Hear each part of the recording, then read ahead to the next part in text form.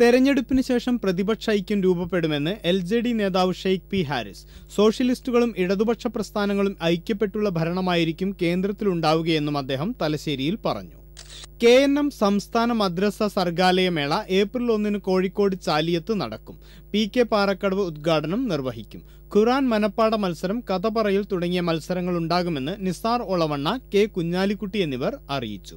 കണ്ണൂർ അഴീക്കോട് കാപ്പിലെ പീടികയിൽ ബോംബും ഇരുമ്പുദണ്ടുകളും കണ്ടെടുത്തു. ഉഗ്രശേഷിയുള്ള രണ്ട് സ്റ്റീൽ ബോംബുകളും ഒരു ബോട്ടിൽ ബോംബും നാല് ഇരുമ്പ് പൈപ്പുകളുമാണ് ആളൊഴിഞ്ഞ പറമ്പിൽ നിന്നും കണ്ടെടുത്തത്. വളപട്ടണം പോലീസും ബോംബ് സ്ക്വാഡും ചേർന്ന് നടത്തിയ പരിശോധനയിലാണ് ഇവ കണ്ടെടുത്തത്. കണ്ണൂർ നടുവിൽ ബോംബ് പൊട്ടി കുട്ടികൾക്ക് പരിക്കേറ്റ സംഭവത്തിൽ പ്രതി കീഴടങ്ങി. ആർ എസ് എസ് പ്രവർത്തകനായ മുതിരമല ഷിബുവാണ് തളിപ്പറമ്പ് കോടതിയിൽ കീഴടങ്ങിയത്. പ്രതിയെ കോടതി പതിനാല് ദിവസത്തേക്ക് റിമാൻഡ് ചെയ്തു. ക്ലാസ്സിൽ ചൂട് അസഹ്യമായതിനാൽ അവധി നൽകണമെന്നാവശ്യപ്പെട്ട വിദ്യാർത്ഥികളെ സ്കൂളിൽ നിന്നും പുറത്താക്കിയതായി പരാതി. Kozhikode medical college C M I Devagiri സ്കൂളിനെതിരെയാണ് രക്ഷിതാക്കളുടെ പരാതി.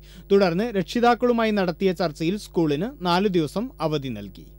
ഉത്തര മലബാറിലെ ഏറ്റവും വലിയ വസ്ത്രവ്യാപാര ഷോറൂം ശോഭിക വെഡിംഗ് മാൾ ഞായറാഴ്ച പ്രവർത്തനം ആരംഭിക്കും. Doctor M G S Narayanan Panakkad Sayyid Munavvar Ali Shihab Thangal Kaithapram എന്നിവർ ചേർന്നാണ് ഉദ്ഘാടനം നിർവഹിക്കുക. തൊഴിലാളി തൊഴിലുടമ ബന്ധത്തിന്റെ സുദൃഢമായ നേർക്കാഴ്ചയാണ് ഈ പ്രസ്ഥാനമെന്ന് ജനറൽ മാനേജർ ദാവൂദ് പറഞ്ഞു.